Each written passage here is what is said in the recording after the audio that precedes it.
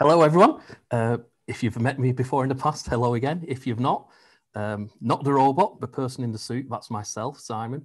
I've been around in the disability market now, healthcare market, uh, for about 20 years, starting off first with learning my way with basic wheelchairs out of a little shop that I ran, selling wheelchairs, scooters, riders recline chairs, beds. Uh, then moved into the manufacturing side, worked for a company called ASM Medicare, uh, where we were manufacturing the perching stools, commode chairs, but also we had a quite an elite range of bathing products back then called the multi-system and the shower cradles. So that got me into bathing and showering, um, which I really found fascinating with the positioning side. So that led me to specialist seating, Kirton, CareFlex, that type of equipment. Um, but the bathing and showering side bizarrely took me to Geberit, of which I joined seven years ago. So I could bring my expertise of shower chairs and equipment that I'd sold myself personally over shower toilets uh, and brought it into Geberit and then expanded on Geberit and what was possible with a Geberit shower toilet. Um, just so you do know, to cover this off so I don't forget, but if any of you are wondering about how we're doing assessments at the moment, we are still able to do home assessments as long as the occupational therapist or technical officers deem it fit to do so and the family are happy to do so. So we've been sending out a couple of emails, uh, the three steps to shower toilet heaven, as we called it, and basically, it's three different options of assessment. So we are still doing in the home assessments, uh, turning up alongside yourselves, bringing the toilet to show the family, measuring the bathroom, uh, and arranging the quotes. Obviously, we have a lot of people who are still shielding. So option two is that we have a, a full 25 minute demonstration video on YouTube, which basically is me in my living room doing a demonstration of a toilet as if I was in the client's living room. So they can watch that and then through WhatsApp, social media, uh, email, they send pictures of the bathroom, and with a discussion with yourselves, we can talk about seat types, etc. And we can still get the quote raised. The family have still seen the toilet in full detail. Um, and option three is a little bit of a mix of option one and two. We've had quite a lot of people saying, I don't mind you coming in my house, but I don't want you in for a long time. So, kind of option three is a family will watch the YouTube in advance. We can turn up on the day, literally just go into the bathroom, do our measuring up, check any any specifics, and if a family have got any questions from watching the YouTube video, they've been shouting them down the hallway, or as what happened on Monday was I stood back on the drive and we opened the living room window and shouted the questions through the window. So we can still do the process, but we're just doing it to what whatever suits yourselves or whatever suits the family. Uh, and just so you do know, if you do ask any of us to do any home assessments, we turn up wearing gloves, masks. If we think we're going to get really up close, and we've got disposable aprons, visors. Um, for what it's worth, we antibacterial wipe the toilet before and after each visit.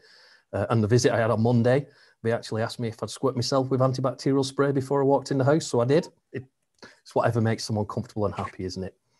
So, um, so this one today, I didn't really want to talk about the toilet itself in too much detail. It was more about the, the common things that we come across with toilets that may have been installed already in the past, um, toilets that we're installing, and, and, just an odd comment during the demonstration, but but make step back and say, okay, well, if that's a situation, we need to look at something else. So this about future-proofing a shower toilet pretty much applies to any shower toilet, and in some cases, even to a normal toilet when you're looking at other equipment going with the toilet. So, for example, a tilting space shower chair or a self-propelled type shower chair. Um, there's so many different shower chairs out there. For this particular reason, the photographs you're going to see today are probably the most common two between Osprey Healthcare uh, and Prism Medical, known as Freeway. Um, and I'm going to try and give you an idea of why I look at very specific seat heights, specific positioning of a toilet, the, the biggest challenge in any bathroom, which is soil pipe configurations and the challenges it present.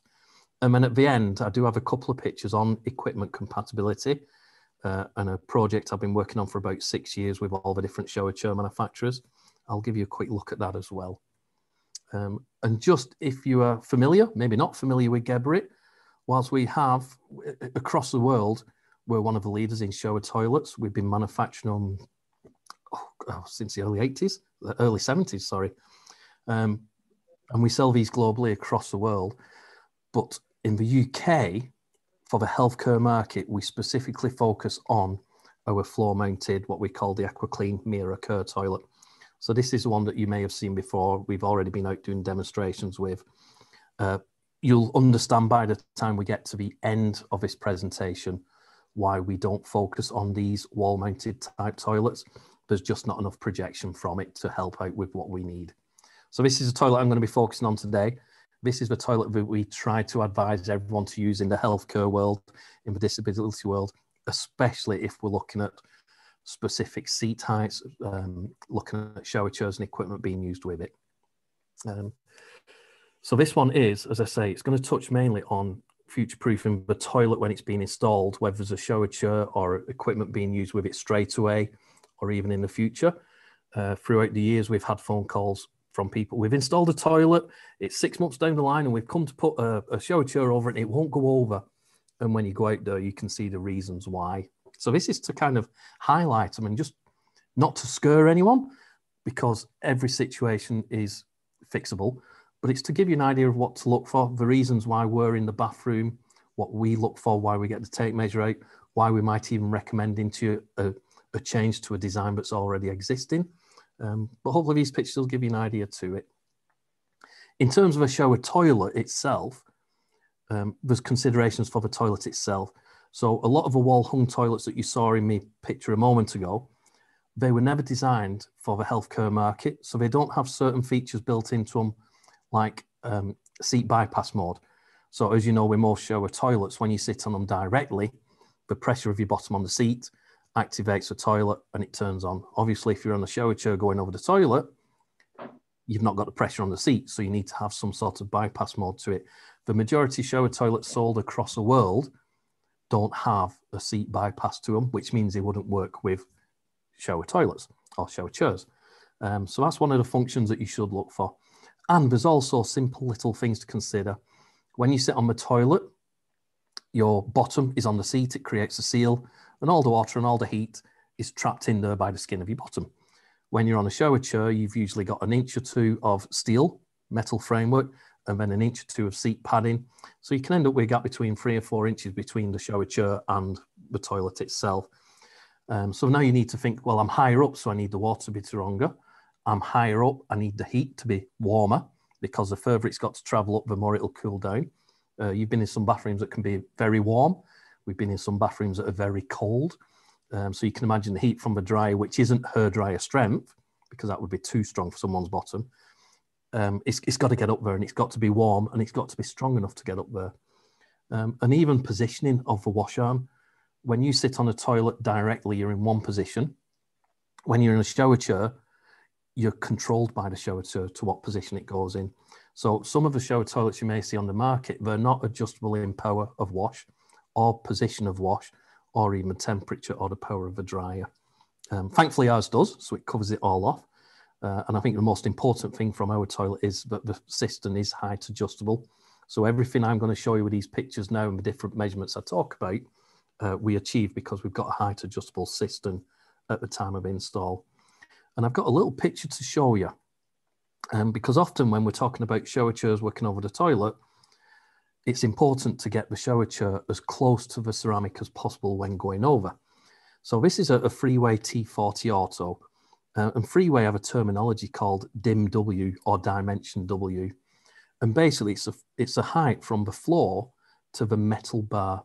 Now you can see two metal bars in this picture and I've got one saying not this metal bar um, but if you actually look underneath the metal bar that the seat clamps onto, it's that one. So typically with any freeway auto shower chair, whether it's tilting space, whether it's a T40 auto, you can see here, uh, that gap is 480 mil. So in this instance, we would always say install our toilet with a seat height of 465 mil. So we've got a 15 mil gap between the toilet and the chair when it goes over. So we're still very close, we're not going to have water escaping left, right. We're not going to have the heat evaporating before it gets to you.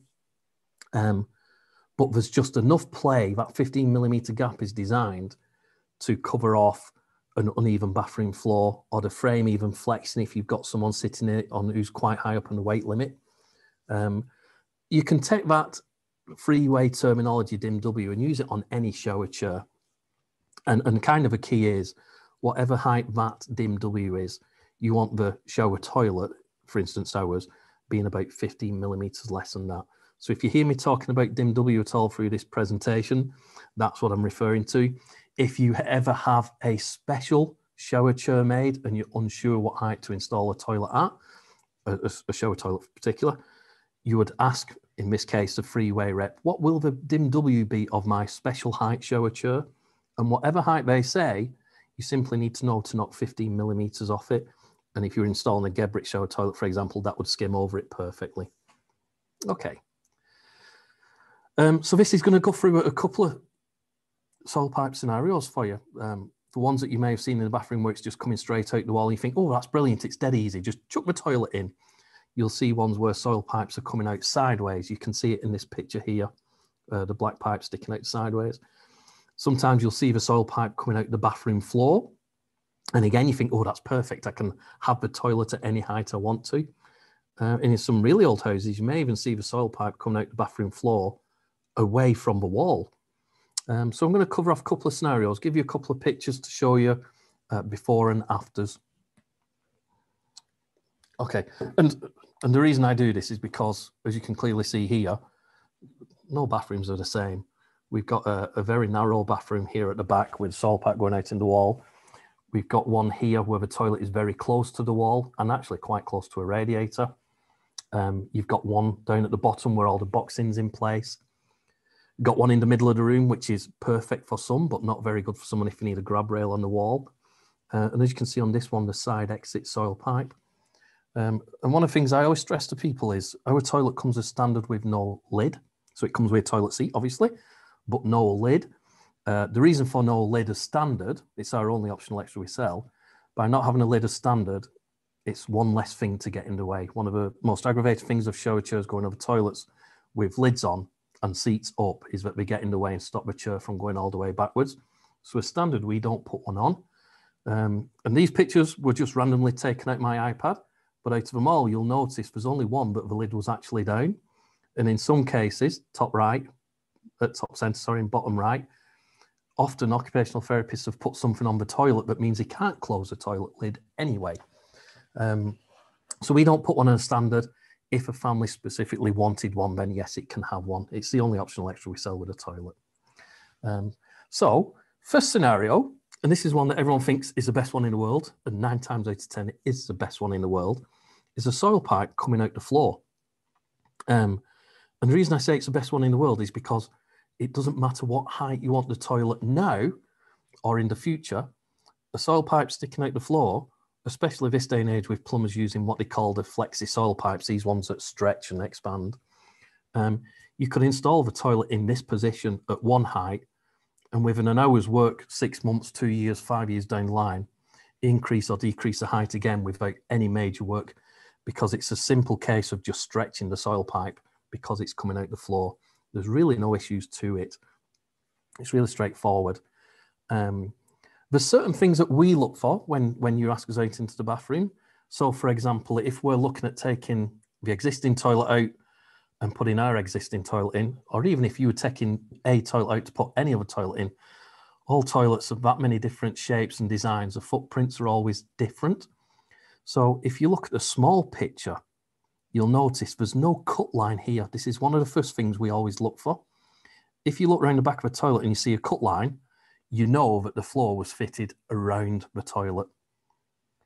If you look around the back and there is no cut line like this one, you know it's been done properly and the flooring was fitted first and then the toilet on top after.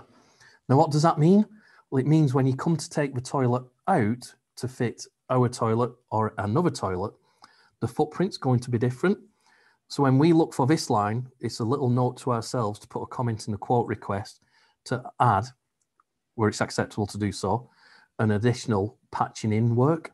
So we can turn up with an additional piece of vinyl material to suit and patch in around the toilet before we install the new toilet. If you don't do that, you end up with usually a, a crescent shaped gap at the front where the flooring was on the old toilet against a new toilet, or a square shape, or just it's not waterproof and it's not watertight and you can see the floorboards. So that's the first thing that we always look for is has there been a cut line here? Has the flooring been fitted first? Has it not? If there is a cut line, we can add an additional comment to the installer to quote additionally for the flooring to be patched. You, you may find in some councils be saying, no, we don't accept patching, we want to replace the entire flooring. Uh, most are quite happy with the patching because of a big difference in cost. Um, on occasions when the soil pipe's coming out the floor, we'll actually come across it where it's quite away into the bathroom, away from the wall. Um, and you can think, oh, crikey, how are we going to do that? If it's a wooden floor upstairs, it's quite a quick fix. You can take up the floorboards and move the, the soil pipe to the back wall. If you're in a bungalow downstairs or an extension downstairs and it's a concrete floor, uh, typically it would involve digging out the whole bathroom floor, redoing the entire structure of the plumbing supply into the bathroom, uh, and then reconcreting the bathroom floor. Thankfully, Geberit, we um, because we're globally used for plumbing, we have a little pipe called the S-Bend 110. And what we do with this is we can just dig out a screed, uh, 110, 120 mil channel in the floor, place the soil pipe in it, and then screed it back. And as you can see in this picture where it's on top, it actually moves the soil pipe back towards the wall and then up into the correct position. This little pipe takes two or three hours work to do, digging out the channel, moving it to the place, sinking it and screeding it. The old fashioned way of digging it out and completely redoing the bathroom floor can be two or three days work. So for the sake of a, a 70 pound pipe, uh, you can save a lot of labor and a lot of cost to it as well. Um, and this then moves it perfectly into the position where we want it and then we can set the height based on it. We've also used this in some cases when we want to move the toilet diagonally. So in certain bathroom layouts, we've wanted the toilet going from corner to corner. So we can even use this to move it across, depending on how far away it is. Um, but it's a real time saver that helps us out. And it also means then that you don't have to do additional boxing out to bring the toilet forward to sit in line with it where it currently is and the kind of an outcome of getting the soil pipe out the floor correct is that you have no obstructions at the back. So whether it's now or whether it's in the future, there's there's nothing that's going to stop any type of shower chair from going over the toilet because what you end up with with the soil pipe coming out the floor is a very clean back. There's nothing sticking out sideways. There's no obstructions for the frame of a tilting space. There's no obstructions for a shower chair self-propel with the wheels coming out the back. So yeah, my my favorite is soil pipe floor. It's usually the best one to work with, unless you say I need it moving there. And if it's a concrete floor, there's a lot of digging out to be done. Um, if it's a wooden floor, it's very straightforward. But if the toilet's staying in position, it's it's the most perfect of all soil pipes to work with. Um, and then scenario two, and there's an interesting picture coming up in a minute on this one to show you. But scenario two is um, the side exit soil pipe. Um, again, it can be seen as one of the easiest ones to work with because a side exit soil pipe, you can cut it or extend it to the length you want to put the toilet exactly in the position on that wall where you want it, whether it's close to the wall for someone to hold on to while we transfer, whether it's in the middle of a room so carers can get around both sides. Um, it really doesn't matter. Even on height adjustment, it's great because the pipe can bend upwards or downwards to come out the side. Um, it works perfectly with transit type shower chairs. But the downside is it doesn't work with self-propel and it doesn't work with uh, tilting space shower simply because the big wheels of a self-propel would hit it and the frame of a uh, attendant, sorry, the tilting space chair, because it's longer than a normal chair, would also hit it. And it, what happens is, when, as it hits it, it stops it from going fully back over the toilet. Um, so again, it's not that you can't overcome these issues in most cases, this will work fine, unless you know for sure it's going to be a tilting space shower chair in the future. Now, there is one little exception to this, and this was a great little find I came across uh, last year at one of Stuart's events uh, in South Wales, at the Autotech event South Wales. Last year, Invacare launched a shower chair called the Ocean VIP Ergo. Now, they do have an Ocean VIP already. So the Ocean VIP Ergo it's a tilting space shower chair. And out of all the shower chairs, tilting space shower chairs I've tested so far or seen, it's the only one that I can find that actually works over a shower toilet that's got side exit soil pipe. So if you did come across a shower toilet, particularly ours, that had a side exit soil pipe, you think, oh crikey, I'm going to have to get it uninstalled to do all this work to put it back in to make it work. Do speak to Invacare about the Ocean VIP Ergo. Make sure you say Ergo. Um, and it's the only one so far that I've found that's a tilting space shower chair that will work with side exit soil pipe. It could save you a lot of time and a lot of work. Um, and I think the VIP Ergo from Invacare, I think it's around about 800 to a thousand pounds uh, selling price. Um, so to give you an example, this photograph here, this has been done correctly. This was going to be used with a, a tilting space shower chair. Now the original toilet sat back here against this wall, not brought forward like you can see as it was installed. And on the original plans that were showing, the toilet was going to be installed against this back wall where you can see the jars and um, glass jars on the wall. This has been an addition that was in, built and installed before the toilet was fitted in. The original toilet touched the back wall, so it was resting on it just like the basin is in the corner. The issue you've got, you can see this soil stack coming down the side.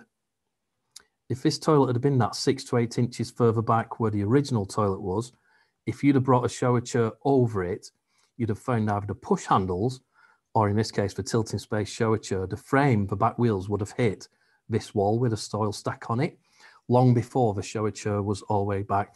So thankfully, uh, as most OTs do when they ask us out for visits, we have a chat about it. We went into the bathroom and straight away I saw this and said, look, if you're going for a tilting space shower chair, because the soil pipe's coming down here and through the side, we need to box out this a little additional bit.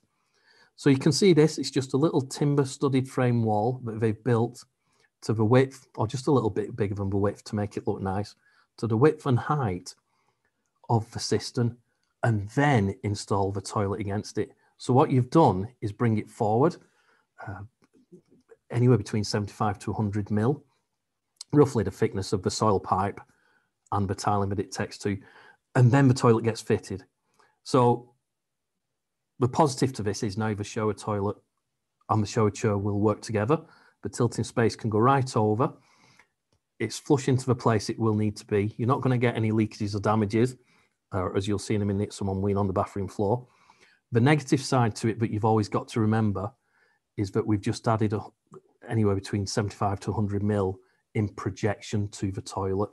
In this case, it was no problem at all. It was recessed anyway. We were just leveling it off. Um, but in some bathrooms, when it's side exit soil pipe and it's tilting space, and you want the shower toilet, you've got to look at blanking off that soil pipe and building a false wall. So you can actually end up making the bathroom a little bit smaller. Um, and at that point, you've then got to assess if a bathroom's too small, can we have a tilting space? Or is it worth looking at just a normal upright with something like a, a normal upright shower chair with something like a universal body strap, just to help them keep sat upright. Um, but in this one, as you can see, they did the boxing in it brought the toilet forward in front of the side exit soil pipe. It allowed the shower chair to go over it fully, and there was still enough room when the chair was over the toilet for the bathroom door to be closed as well. Um, and in some cases, we can actually save room. This was an, an old toilet from a long time ago, where uh, side exit soil pipes in the toilet wasn't uh, wasn't doable. On ours, on the toilet, we can have pretty much any configuration of soil pipe but what happened in time with this one, uh, the toilet wasn't able to take a side exit soil pipe, so they had to box in round the back, which you can just see in this photograph here. The downside to that was, as I say, it brings the projection of a toilet further forward. So if you look at the shadow line across the bottom, you'll notice it's past this, this box, this section, which is also the door entry. So in the early days, it was fine because the client could walk into the bathroom, Later on, when mobility was a bit more of a challenge, this here projection was in front of the door, which caused a bit of an obstacle. So to give you an idea of what it looks like with or without boxing in, that's a projection with boxing in. And this was a projection afterwards. So because the toilet allows for side exit soil pipe quite easily, we could get rid of all the existing boxing in, sit the toilet flush back against the wall so it looks neater and cleaner, but also now you can see the difference with a shadow line. We're actually in line with the door entry frame, so we're not becoming an obstacle at all. Um, and it's just, a, if anything, that's a highlight to show you how we can get it in situations. Um, and I promised you a bad example of a side exit soil pipe. So obviously this is an existing toilet. And um, from what I got told, the shower chair got sent from equipment loan stores in a rush, in an emergency to help out. Um, what hadn't been considered, you can just see it through the wheels, is a soil pipe that then bends off. Uh, if you were stood facing toilet, bends off to the right. So now, if you do look carefully, you can see the ceramic of the toilet and you can see where the shower chair hits. So the shower chair has gone over to a point when the big wheels hit the soil pipe, which stops it going all the way back. Uh, this gentleman in particular, uh, he, he could use it. It was a, an emergency thing to help out. It was better than nothing. But the, the downsides of it were, yes, it didn't go all the way back.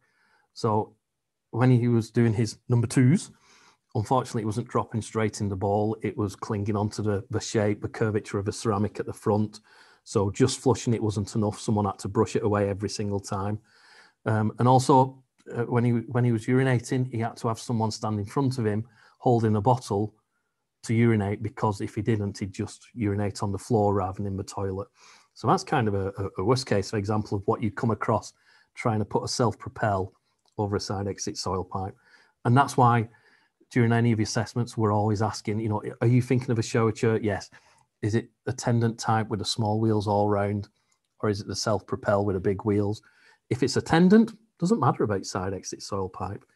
If it's self-propel like this one, then yeah, we've got to look at bringing a toilet forward, hiding the soil pipe somewhere or another, and making sure we don't end up with this scenario that you've got here.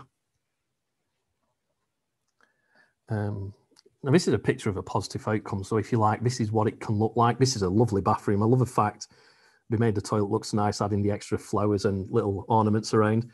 But if you look in this, you can see straight away along the back wall is this extra little boxing, this shelf. This is where the soil pipe's running.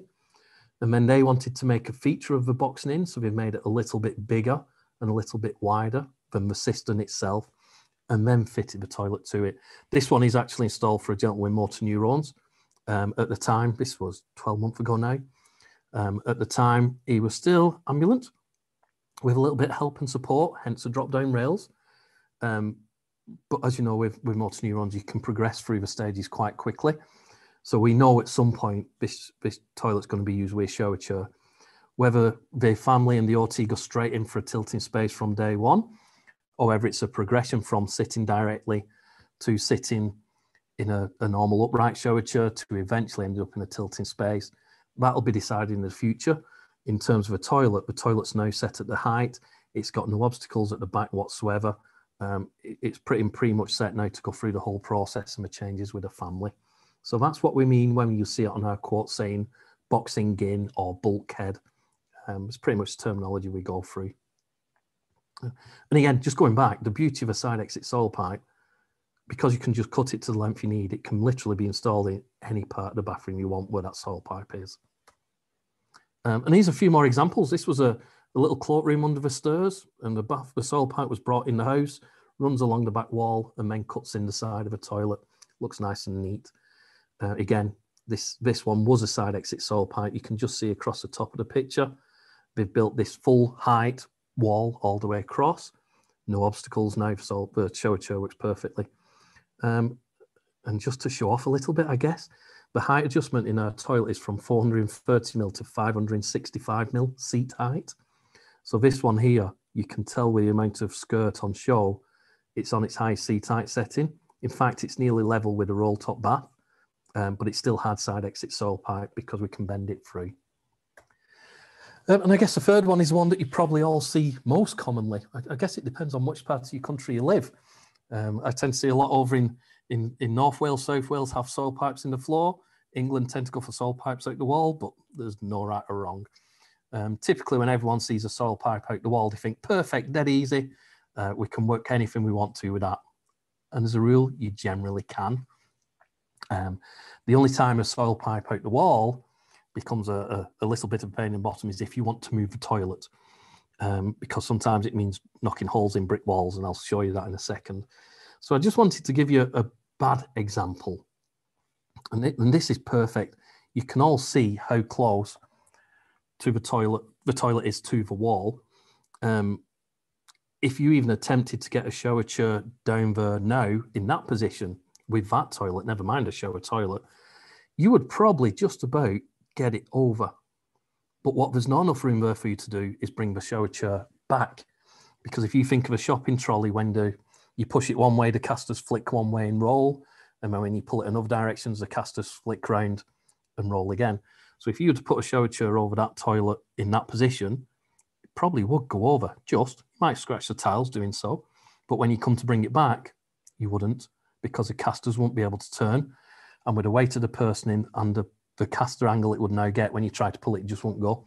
The only way in that scenario you would get the person off a toilet is probably to lift them, hoist them off the toilet, and then get the shower chair and lift it high up vertically and then and away. So this is a, a really good picture of a bad example of a shower toilet being fitted too close to the wall. Um, you could also imagine this one is quite bare, it's okay, but often there's a radiator in this position. So that would really rule out any sort of equipment going down the side of it. And, and this lady in particular, um, with, with her heavily swollen legs, she was actually squashing herself against the wall to sit herself on the toilet because it was that close. Um, and bear in mind, these are tiles, they're not always warm. So it was quite cold tiles on a bare naked flesh while she sat on the toilet, squashed against it. So as she said, it was it was just horrible experience for her every time going to the toilet. And one or two people had been out plumbers to try and fix this by moving the toilet across. But instead of doing it the proper way, they were simply trying to put an angle here on the soil pipe that you can see in the little picture that the toilet wasn't designed for. So every time we tried to move it for a little bit, because they weren't doing it properly, they just caused problems with the flushing and blockages. And in the end, she was that fed up with it, she resorted to having the toilet moved back to where it should be. So that's kind of a, a nice picture to lead you on to why sometimes you'll hear us say you need to move a soil pipe. So the downside of moving a soil pipe that's coming out the wall, unless you're prepared to build a new false wall in the house, is usually you knock holes in the wall on the outside. So this is a, a typical photograph of a soil pipe, your vent pipe running up the back of your house, sometimes at the side of houses. And this is a soil pipe going into the house. So let's say, for example, we needed to move the toilet you've just seen six inches to give a, a soil pipe center of say 500 mil, which is pretty much the industry norm to make sure we've got room down both sides of a toilet against an adjacent wall. We would have to cut this off, re-drill a hole in the brickwork, say here, and then extend this across, feed it back into the building, and you've moved the soil pipe. So again, it's not something you can't do, but when you see a toilet that close to a bathroom wall and you say, yeah, and we're going to put a a a T40 auto over it, Simon. If you see me go, mm, there's a little bit more work to be done. This is exactly why we need the gap from the edge of a toilet to the adjacent wall to be at least 20, 25 centimeters, 250 mil. Um, or ideally, the measurement is from the adjacent wall to the center of a toilet, 500 mil. And when the soil pipe comes out the wall, very often the only way you can do it is by chopping this off, shortening the length, or increasing the length to move it to the right place you want. Um, there is some benefits when you're doing that because whilst you're at it, you can also increase the height of it. So if you had a very tall gentleman, say six foot, six foot five, and you said, I need a seat height of five, 550 mil, whilst it's being moved, this can actually be raised up the building to come out the bathroom wall higher up so the toilet can fit to it. Um, these sound quite extreme, but sometimes if they're not done at the start, often it's an unsightly error that you have to make later because obviously on the inside, you've still left with a hole that needs bricking up and replastering and covering. So if it's done at the time of say an adaptation and moving it across, it can be replastered, reskinned, retiled. Nothing worse than drilling through people's tiles and, and them with a hole. But yeah, typically a soil pipe out the wall is great to work with unless you need to move it. Um, and, and, here's just some, some more pretty pictures you can see. Because it's a soil pipe out the wall, it's a very open area at the back. There's nothing in the way. We can install the toilet to whatever seat height we want. In this case, the middle picture, 465 mils, so the T80 uh, shower chair will wheel over it nicely. Um, and, you know, it just leaves you with a nice, I'm looking at the picture on the left, with a nice looking bathroom experience. There's no unsightly holes to the side. Everything's been tiled up and it can sit nicely with some furniture if it wants to. So they were kind of the three common scenarios we come across and uh, the three main things that we're looking for, especially when it's equipment that's going to be over the toilet. And the idea of taking note of it at the start so it doesn't have to be an issue or a concern later on, which then ties nicely with the equipment compatibility report. Because the idea of a toilet when we were designing it, um, we've always had the Mera Classic, the the ceramic part, the wash dry part of it, we launched that in 2015. What we did was develop a frame and a system, and this was my input into the side of a toilet, was to make sure that we had a frame that could accommodate any existing bathroom or a new bathroom and be quickly adjustable and adaptable for any future changes as we go along it. So the equipment compatibility report is about 40, 50 pages long now. Um, I've broke it down into sections because it's getting bigger and bigger by the year. So the first section is just normal upright type shower chairs, your T40s, your Sani commodes, um, your Invacare type shower chairs. The second section is based on tilting space, so a, a, whole range of tilting space shower chairs that I've tested. There's a section on bariatrics, which is a webinar I'm doing next Thursday talking about weight limits of toilets, weight limits of people, dynamic seating, the impact of someone dropping heavily on it.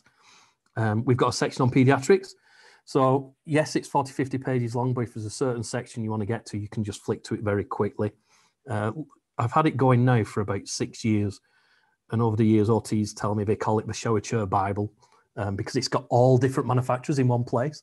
So if you're like, well, what chair does what? What does this? And what weight limits I've tended to put it in the report for you. Um, and I'm nearly done now because we'll take the screen off and do any questions and answers. But just to let you aware of a toilet, the toilet, as I earlier mentioned, the only thing we sell as an optional extra is the lid. That's because everything comes as standard. So whether it's a user remote control that the friends and family love to press all the buttons, whether it's a very simple touch panel that you just touch and it'll make the toilet flush, wash, dry, um, whether it's the app that you want to download on your mobile phone, uh, to the five-year warranty, to all the profile settings, everything's as standard. You can see from the photograph, by not having a lid, we've got this lovely open space that doesn't cause an obstruction for any shower chair going over it. Okay. Um, just some extra features. You can all read it on the left by now, probably. It has a lady wash. That's a standard function, but it's a separate wash. So this toilet is, if you like, universal for both men and women to use the wash dry function. The height adjustment, as I touched on earlier, 43 centimeters, so normal toilet seat height, and it can be adjusted by the millimeter to whatever height you want from 43 centimeters right up to uh, 56 and a half centimeters. Um, and and just. I think the world's slowly converting now, but there's never ever been such thing as servicing on a shower toilet. There's things you can clean. Um, on our toilet, it's got its own little self-servicing function. In other words, we show the families how they can clean and maintain it as and when they want. It's a two-minute task. Um, we've actually started uploading some videos up onto our YouTube channel.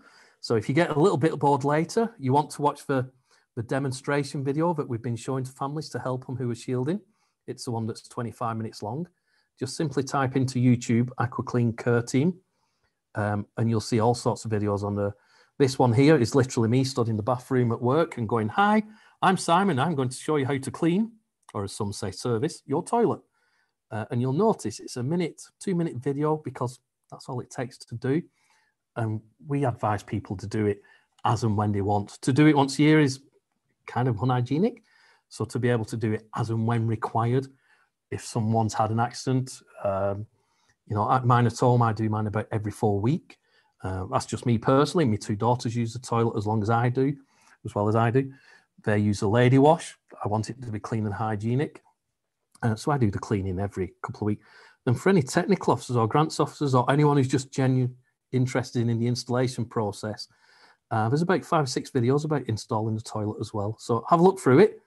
Uh, the demonstration video now it's on about three and a half thousand views. It's been really well received.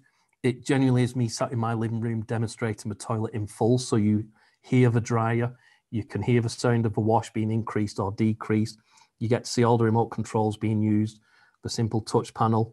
Um, i even show people how to clean it on that video as well. And initial contact, just for the sake of today, rather than putting lots of phone numbers on, um, I'll leave that up for a second or two if you want to write it down, but we'll send it you later on anyway. So I'm Simon. There's a, a, team of six of us now covering the UK um, daily, taking our toilets out, doing the demonstrations. But we don't only just do the demonstration before the visit. So um, a modern shower toilet these days, you pretty much the installer installs it, turns it on. The toilet tests itself just like you do your mobile phone does when you turn your mobile phone on. And then within five minutes, ready to go, you can get on it and have your first wash. So that's kind of what we ask everyone who's getting a toilet to do. The day it works, the day it's installed is the day it works. So get on it, have a go. We get told by either the occupational therapist, by the technical officer, or even by the installer that they've fitted it. And then we give the family a call and we arrange to go back out and see them, usually about two weeks down the line, because that two weeks gives them a chance to sit on it, experience the wash, experience the dry, understand if they wish the water was warmer or cooler or stronger or gentler, uh, the position of it. And it just gives them a chance to familiarize themselves with what they want for a wash. So when we do go out and see them, they pretty much tell us and we can help them to set the wash up to exactly how they want it. And whilst we're there, we also talk them through how to clean it, how to look after it. Um, and if there's any other family members who want to get involved, we can help them set their own little personal pre-wash settings as well. So I need to stop sharing. I think we've got, yeah, about 10, 15 minutes worth of questions. Stuart, are we all back in the room?